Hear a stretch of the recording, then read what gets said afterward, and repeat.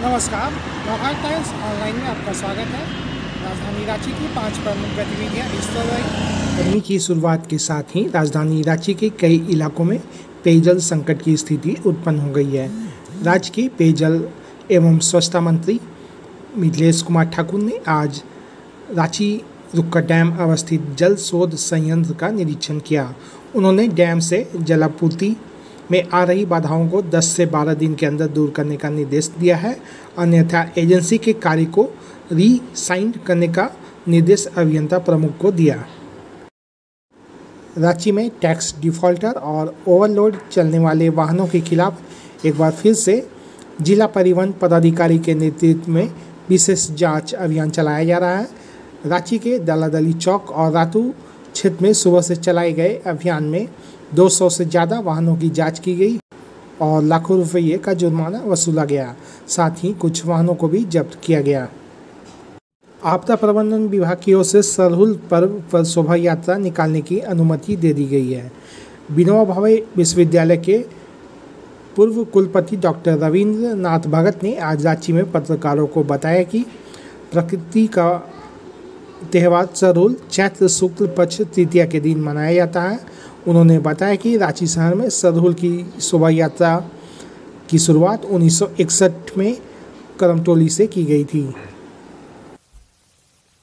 झारखंड के रांची शहर में सरहुल के शोभा यात्रा की शुरुआत सन 1961 में करमटोली के शशि भूषण मानकी जी के आवास के पास से हुई थी। वहाँ एक सकवा का पेड़ है। वहाँ पूजा अर्चना के बाद लोगों ने इसकी शुरुआत की। इसकी शुरुआत करमचंद भगत जी के नेतृत्व में, जो उस समय रांची कॉलेज के उपाध्यक्ष थे, छात्र नेता थे, छात्रावास के युवाओं और करमटोली के प्रबुद्ध नागरिकों प्रबुद्ध जनों के सहयोग से यह यात्रा निकाली गई थी। यह शोभा यात्रा सिरमटोली सरना स्थल को बचाने के लिए की गई थी।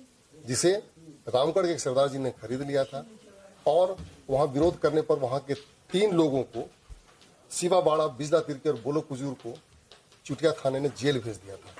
तो उन लोगों को बचाने के लिए, उस ज़मीन को बचाने के लिए इसकी शुरुआत 1961 में कर्मटोली से की गई थी। प्रधानमंत्री नरेंद्र मोदी आगामी एक अप्रैल को स्कूली छात्र छात्राओं को परीक्षा पर चर्चा कार्यक्रम के माध्यम से संबोधित करेंगे।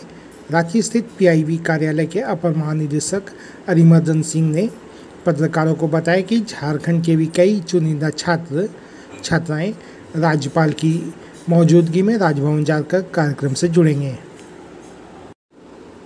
राजधानी रांची समेत राज्य के विभिन्न हिस्सों में अधिकतम तापमान में बढ़ोतरी हुई है। मौसम पूर्वानुमान में राज्य के विभिन्न जिलों में अगले 48 घंटों में लू चलने की संभावना जताई गई है। रांची का अधिकतम तापमान आज 18 डिग्री सेल्सियस रिकॉर्ड किया गया। वहीं डाल्टनगंज का अधिकतम तापमान बयालीस दशमलव सात डिग्री सेल्सियस पहुँच गया है।